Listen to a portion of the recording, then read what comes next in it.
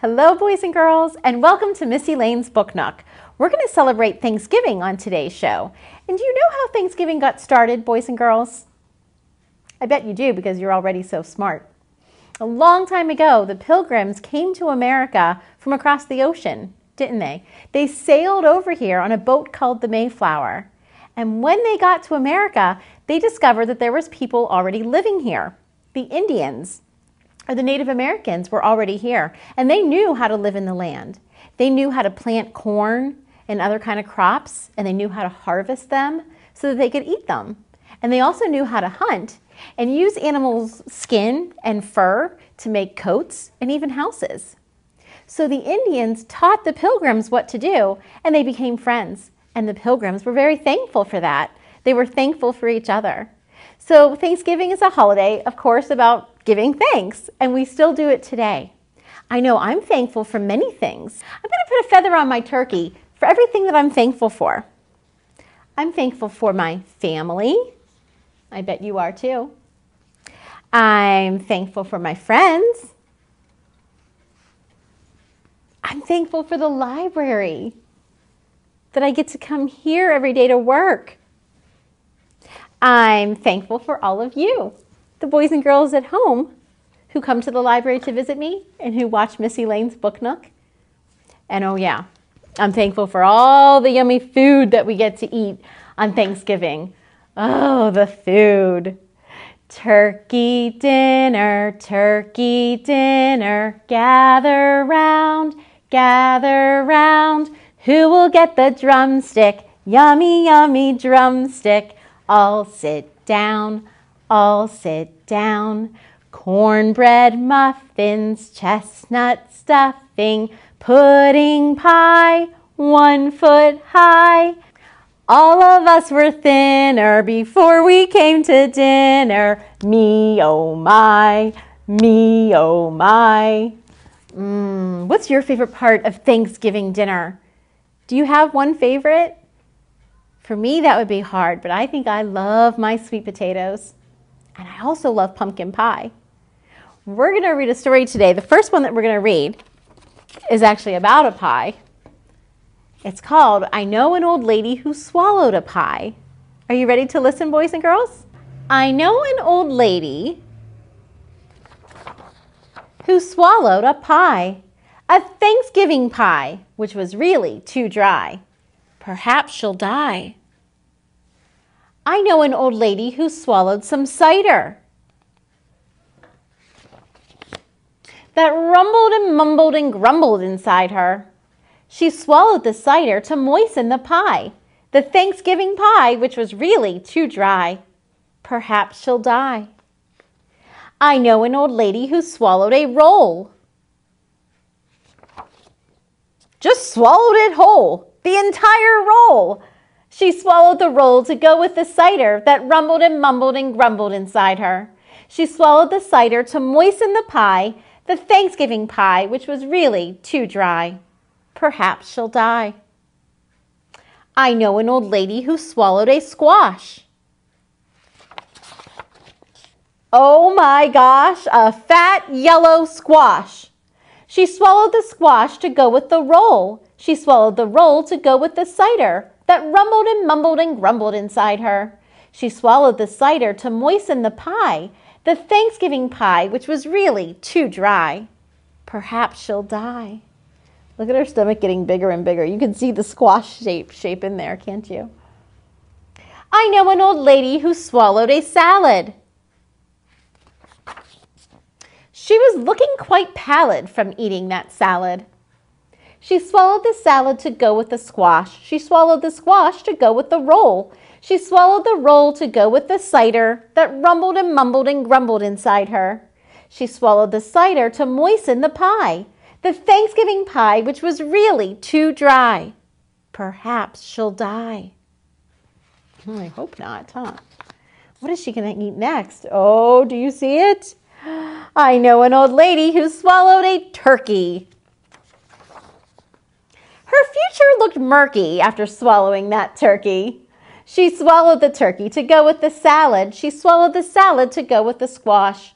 She swallowed the squash to go with the roll. She swallowed the roll to go with the cider that rumbled and mumbled and grumbled inside her. She swallowed the cider to moisten the pie, the Thanksgiving pie, which was really too dry.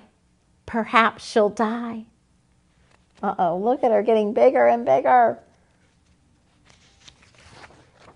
I know an old lady who swallowed a pot. A pot? What? I kid you not, she swallowed a pot. She swallowed the pot to go with the turkey. She swallowed the turkey to go with the salad. She swallowed the salad to go with the squash. She swallowed the squash to go with the roll. She swallowed the roll to go with the cider that rumbled and mumbled and grumbled inside her. She swallowed the cider to moisten the pie, the Thanksgiving pie, which was really too dry. Perhaps she'll die. I know an old lady who swallowed a cake. Look how big that cake is. That's like a, I was going to say a seven layer cake. I don't know. One, two, three, four, five, six, seven. Look at that huge cake. She swallowed a cake. Oh, for goodness sake, a 10 layer cake. We didn't even see all of it. Oh my goodness. She swallowed the cake to go with the pot. She swallowed the pot to go with the turkey. She swallowed the turkey to go with the salad. She swallowed the salad to go with the squash. She swallowed the squash to go with the roll. She swallowed the roll to go with the cider that rumbled and mumbled and grumbled inside her. She swallowed the cider to moisten the pie the Thanksgiving pie, which was really too dry. Perhaps she'll die. Look how huge, boys and girls. How did she have room for all of those things? How did she swallow a pot? That's silly. I know an old lady who swallowed some bread. I'm full, she said. Boys and girls, she didn't die, but do you know what's happening in this picture? She got so big, they used her as a gigantic float in the Thanksgiving Day parade. Do you know what a float is? It's those big balloons that you see up in the air. They're so big that they have to have people down below holding them up and kind of um, carrying them along. It's a huge balloon, it's called a float. And that's what she is in the Thanksgiving Day parade. There's the old lady, and there's the big fat turkey behind her. What else do you see? Parades are a lot of fun, and maybe you'll watch the Thanksgiving Day parade this year on Thanksgiving. Well, I want to share another story with you. And this one is called Twas the Night Before Thanksgiving. And in this story, there's eight children who get to go on a field trip for school, and they take a field trip to a turkey farm. And they find out that the farmer is getting the turkeys ready for Thanksgiving dinner, getting ready like he's going to eat them. And the little kids, they don't want those poor turkeys to be eaten. They think they're cute. And so they want to save the turkeys. So let's find out if they do it, and if so, just how. Twas the Night Before Thanksgiving by Dav Pilkey. 'Twas the day before Thanksgiving, and all through the trees the fall leaves were spinning aloft in the breeze. Eight children had boarded their school bus with grins in hopes that a field trip soon would begin. They sang as they rode through autumn terrains, while visions of drumsticks danced in their brains.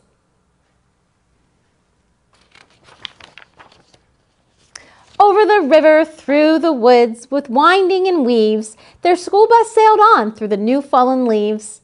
When out on the road, there arose such a clatter, they threw down their windows to see what was the matter. I wonder what they heard. They heard a noise as they were driving along in the school bus. What do you think the noise is? When what to their wondering eyes should they see but a miniature farm and eight tiny turkey. And a little old man so lively and rugged, they knew in a moment it was Farmer McNugget. They're there, they arrived on the farm. He was dressed all in denim from his head to his toe, with a pinch of polyester and a dash of Velcro.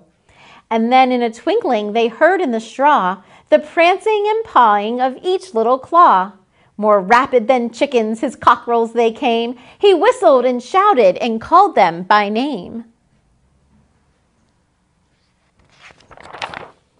Now Ollie, now Stanley, now Larry and Moe, on Wally, on Beaver, on Shemp and Groucho. The turkeys were chunky with smiley beaked faces, and they greeted the children with downy embraces. Oh, look, the turkeys came right over to the children and they wrapped them up in a hug. A nice big feathery hug. So out through the barnyard they ran and they flew as they gobbled and giggled as friends sometimes do. There they are playing together on the farm. And then somebody spotted an axe by the door, and she asked Farmer McNugget what it was for. With a blink of his eye and a twist of his head, the old farmer told a grim tale of dread. Oh no. What is that axe used for? I think you know, boys and girls. Tonight, said McNugget, these feathery beasts will be chopped up and roasted for Thanksgiving feasts. The children stood still, and tears filled their eyes. Then they clamored aloud in a chorus of cries. Oh dear, cried McNugget, now what shall I do? So he dashed to the well, and the teacher went too. And they fetched some water fresh from the ground, in hopes that a swig might calm everyone down. They knew the children were upset, so they went to get some water. Maybe giving them a sip of water would help. And you know, boys and girls, when they're gone, when they went to fetch that water, this is when the kids come up with their plan. What are they thinking, I wonder? How are they going to save those turkeys? And when they returned to quiet the matter, the children were calmer and mysteriously fatter. The boys and the girls drank up their drinks in the hay and thanked old McNugget and then waddled away. Why do the children look fatter? Take a close look at this picture, boys and girls at home. Why are the children fatter? Yeah, they stuff those turkeys up their shirts. They're hiding them from Farmer McNugget. They limped to the school bus, all huffing and puffing. It's not easy to walk with hot turkey stuffing. And then as the school bus drove off in the night, McNugget looked around. Hmm, not a turkey in sight. He's thinking, where did all the turkeys go? Twas the night before Thanksgiving, and the stars up above showed down on a school bus abounding with love. The very next evening, eight families were blessed with eight fluffy Thanksgiving turkeys as guests. They feasted on veggies with jelly and toast, and everyone was thankful, the turkeys the most. The end. So, those families of those eight little kids, they didn't have turkey for dinner. They had vegetables and other things. They saved the turkeys. Maybe they kept them as pets. Who knows? So each one gave thanks for love and for living, and they all had a wonderful, happy Thanksgiving. The end. Now I have a little rhyme. We're going to take this turkey down, and I'm going to teach you another turkey rhyme. One in which, again, the turkeys are saved. And let's see, we're going to put up a brown piece of material. That can be our fence or our gate. Okay. Then I'm going to put up five turkeys. And will you help me count, boys and girls? One, two, three, four. Can they all fit on the gate? We're going to have to squish them make them fit. Five. One, two, three, four, five. You can put up five fingers and say this rhyme with me at home. Five little turkeys sitting on a gate, and the first one said, Oh my, it's getting late. The second one said, We'd better run away. And the third one said, Why are you afraid today? The fourth one said, Because Thanksgiving's almost here. But the fifth one said, We're having pizza this year. So out came the farmer, who calmed them all with ease. Thanksgiving dinner is served with pepperoni and cheese. So the farmer didn't eat them up either. He didn't catch them and cook them and eat them. Instead, he fed them pizza. And they had pizza for dinner. Let's say that one more time. You try it with me at home. Put up your five fingers. Five little turkeys sitting on a gate, and the first one said, Oh my, it's getting late. The second one said, We'd better run away. And the third one said, Why are you afraid today? The fourth one said, Because Thanksgiving's almost here. And the fifth one said, But we're having pizza this year. So along came the farmer, who calmed them all with ease. Thanksgiving dinner is served with pepperoni and cheese. All right, boys and girls. One more story that I want to share with you today on Miss Elaine's Book Nook. This one is also called Twas the Night Before Thanksgiving, but in this one, the turkey does get eaten. They have turkey for Thanksgiving. Just barely, though. We're going to read The Night Before Thanksgiving. This one is by Natasha Wing. Twas the night before Thanksgiving, and all through the nation, families got ready for the big celebration. At our house, my mom baked three kinds of pies pecan and pumpkin and apple surprise. That night we were nestled all snug in our beds while visions of turkey legs danced in our heads. The very next morning, Thanksgiving, yippee! We got up and watched the parade on TV. Remember, we were talking about the parade, and there they are watching it on TV. There's another big, gigantic float, a turkey float. Relatives arrived from near and far by taxi and airplane, by train and by car. My brother came up the basement stairs, lugging the kids' table and folding chairs. We counted and polished our best silverware and then set two tables with patience and care. The turkey went in as more cousins came. I laughed and I shouted and I called them by name. Hi, Danny. Hi, Donnie. Hi, Paula and Vicky. Hi, Casey. Hi, Kathy. Hi, Brenda and Ricky. Come in from the porch. Step into the hall. Now come and play. Come and play. Come and play all.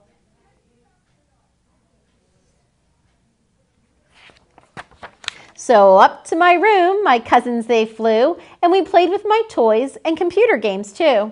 We made pilgrim hats and funny shoe buckles, and then put on a skit for our aunts and uncles.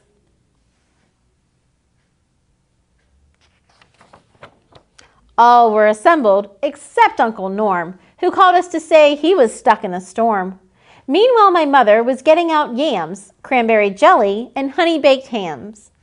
When mom wasn't looking, we stuck olives on our fingers and said they were puppets and grand opera singers. While dinner was cooking, we played dodgeball outside.